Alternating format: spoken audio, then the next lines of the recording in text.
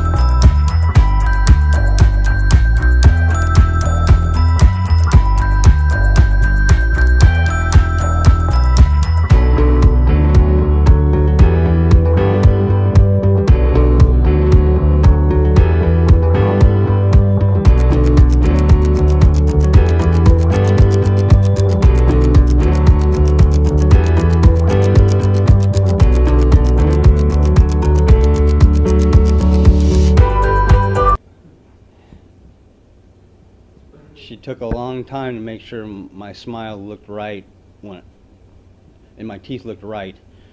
Um, oops, and uh, and uh, I can't thank her enough.